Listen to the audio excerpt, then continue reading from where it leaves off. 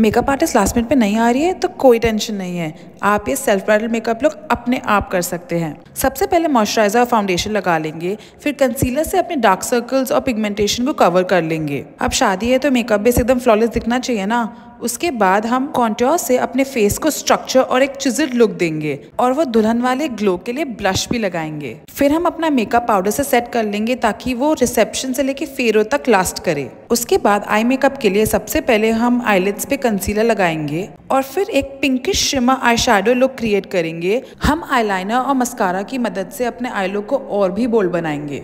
अब लास्ट में एक सुंदर सी पिंक लिपस्टिक लगाएँगे और अपना लुक कंप्लीट कर देंगे। लग रहा है ना एकदम प्रोफेशनल दुल्हन मेकअप आपको ये लुक कैसा लगा? मुझे कमेंट्स में बताइए। बाय